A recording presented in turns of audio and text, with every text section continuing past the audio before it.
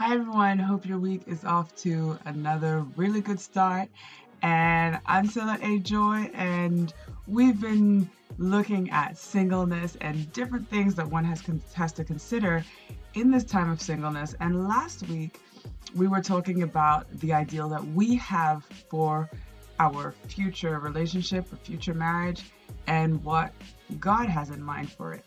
And this week, as mentioned last week, we're going to be talking about the list. So, the list of things you write down and, and say, okay, this is the list of things that I want to pray for concerning a husband. These are the things that for me are the non negotiables in a relationship.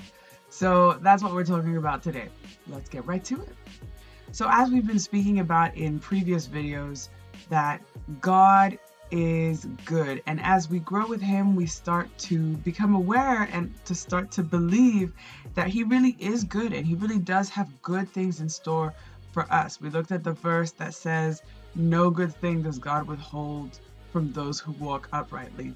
So we start to know, okay, God is good. He wants good things for me in my relationship. And we also start to trust Him for His timing. And essentially the point of this video in a nutshell is once we know that those things in, are in place then genuinely ask him for what you want.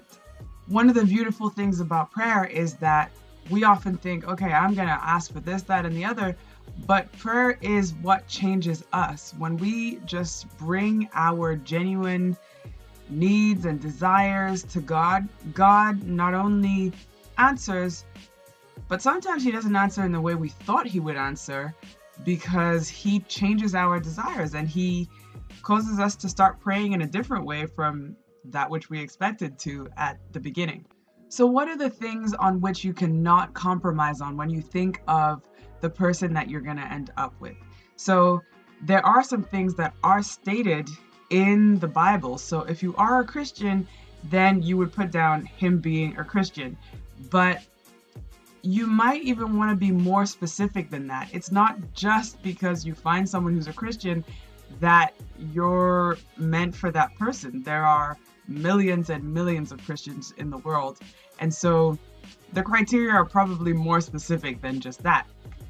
So, for example, mine might be a man of prayer because I love the topic of prayer and everything that has to do with prayer that is where my heart is. So that would be one of my things. If I'm listening something spiritual, that is on my list, a man of prayer. So here are four suggestions as to how to write this list and then how to pray through it. So number one is to write down all that you can think of in someone you want to marry. These are physical traits, spiritual traits, uh, relational traits. Well, maybe they're really someone who um, is a giver. They are smart. They are tall. They are short. They are whatever it is. Just write it all down because that's what on your, what's on your heart start by acknowledging it and saying, actually, I think these are my expectations for my spouse, or at least my desires. Remember that we know, we're starting to know how good God is and how good of a relationship He wants for us. So don't be ashamed or afraid to actually tell Him what you genuinely desire.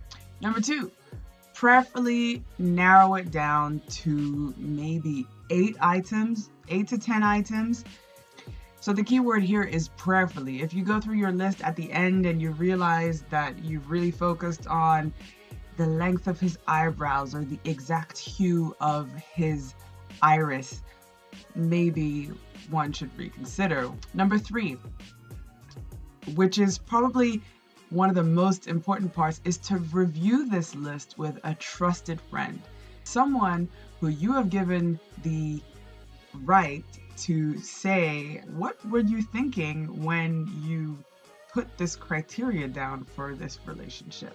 It's really good to bounce that off another person and to just get some kind of perspective. All the better if that person is married and can tell you, actually, you might think that this is what you want, but in reality, it is actually uh, you don't care about it when you're actually married. Married people have all the wisdom here and can really advise in a valuable way. When you've reviewed that list with your friend, ask them to pray for you. And number four is put that list in your Bible or your prayer journal and thank God that He is good and that He has a good relationship for you and that His plans for you are exceedingly abundantly more than anything you could think of or imagine. So the key word in there in this whole thing is pray. Pray at the beginning, pray while you're writing the list, pray with your trusted friend, pray through it when it's in your Bible. Pray, pray, pray. Anyway, thanks for watching. This has been a shorter video on the list that one writes in what we are looking for in a future spouse. Write down everything you can think of in a future spouse. Number two, preferably narrow it down to maybe eight or 10 items and review that list with a trusted friend. And number four is put that list in your Bible or prayer journal and thank God for who He is leading you to and pray through that list. Well, that's it for me. Thanks for watching, and I will see you next week.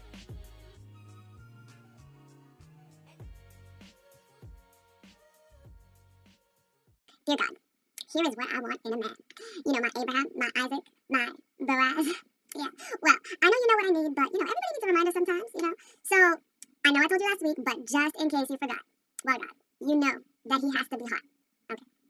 Um, other than that, I would like well-defined biceps, um, a slender but muscular body, and Lord, you know that he and I have got to have chemistry. Yeah. Um, and if you would please, I would like a man of approximately a meter ninety and three millimeters. I'm sure you would agree that it's quite a pair that we would be. In short, I want him. Hold on, I made a list. Um, I want him tall, uh, slim, thoroughly responsible, uh, fair, with facial hair, uh, entirely dependable, respectful, and as aforementioned, muscular, uh, someone who understands me, you know, a, a, great listener, a romantic guy who's as sexy as one can ask for as a Christian, you know, uh, sincere, tender-hearted, thoughtful, wanting 2.1 children just like me, thoroughly compatible with my charming personality, um, with clear skin, a full head of hair, with three PhDs, making a lot of money, gentle yet strong, uh, humble, beautiful smile, you know, uh, understanding, charismatic, someone who goes the extra mile, the three F's, fabulous, funny, and fashionable. Yeah. Uh, patient, kind, you know, all of those things that are in 1 Corinthians 13. You, you know it. Um, oh, and no baggage, please. Yeah. Uh, I would like someone having walked with you uh, sincerely since before they were conceived.